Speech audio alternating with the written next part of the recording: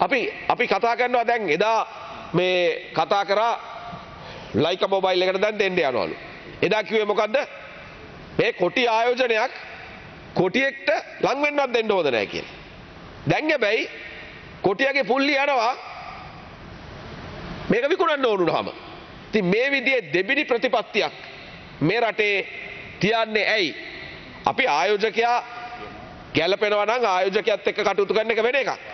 ඔහු වෙනත් ඕනම ආයෝජකයෙක් ඇවිල්ලා අනවශ්‍ය අවශ්‍ය දෙයක් ගන්නවා නම් හිල්ටන් හෝටලය ගන්නවා නම් ඒ කොටසක් මේ වෝටර් සෙජ් එක ගන්නවා නම් ප්‍රශ්නයක්. ඔබතුමාට තව විනාඩි දෙක කාලයක් තියෙනවා. ගරු මුලාසනාරුට මන්ත්‍රතුමනි මේ විදියට අපි අපේ රටේ ජනතාවගේ ගැන අනාගතය ගැන හිතන්නේ නැතුව කටයුතු කරන්න උත්සා කිරීම ගැන මගේ විරුද්ධත්වය ප්‍රකාශ කරනවා. අපි අනිවාර්යෙන්ම රාජ්‍ය පෞද්ගලික ව්‍යවසාය වර්ධනය වෙනුවෙන් පෙනී සිටිනවා. නමුත් මේ විදියට කටයුතු කරන එක ර- ජනතා විරෝධී ඒ වගේම ඒ සඳහා වර- වරමක් මැන්ඩේට් එකක් මේ රටේ ජනතාව මේ රජයට දීලා නෑයි කියන එක ඉතාම පැහැදිලිව කියන්න ඕන. චන්දයක් වෙනුවෙන් අපේ රොහිත අබේගොඩවදන මැතිතුමා දිගින් දිගටම කතා කරා පළාත් සභා චන්දය කල්්‍යයාම ගැන. දැනුත් තියන්න පුළුවන් පළාත් සභා චන්දයෙක් පළත් සභා චන්දය වෙනස් කිරීම සඳහා ඒ යෝජනාව ගෙනාව කැබිනට්ටුවට වර්තමාන ජනාධිපති රනිල් වික්‍රමසිංහ මැතිතුමා අග්‍රාමාත්‍යවර හැටියට ඉන්නකොට. එතුමා ගෙනාපු යෝජනාවට අනුව සම්මත කරන්න ප්‍රශ්නයක් ආහම කතානායකවරයා නැවත කමිටුවක් පත් කරා මේ පිළිබඳව විසඳුමක් දෙන්න මාස දෙකක් ඇතුළත ආණ්ඩු ක්‍රම ව්‍යවස්ථානුකූලව.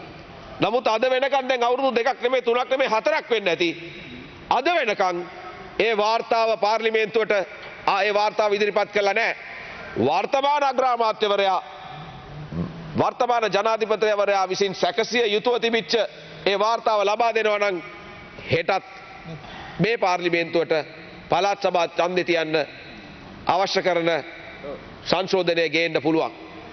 ඒ ආකාරයට නැවතත් පළාත් සභා පළාත් පාලන මැතිවරණයත් කල් දාන්න ඕනකමට සංශෝධන ගෙනාවත් ගරු මූලාසුරාරු මන්ත්‍රීතුමනි මේ රට පිළිබඳව අපි රට අපිට බලයට එන්නවත් කවුරුවත් බලයෙන් පහ කරන්නවත් නෙමේ අපේ රට පිළිබඳව ලෝකය බලාගෙන ඉන්නේ මුදල් රාජ්‍ය ඇමතුමා IMF එකට යනකොට World Bank එකට යනකොට අනිකුත් රාජ්‍ය එක්ක සාකච්ඡා කරනකොට එයා යහන්නේ කාලය අවසන්. එක විනාඩියක් දෙන්න.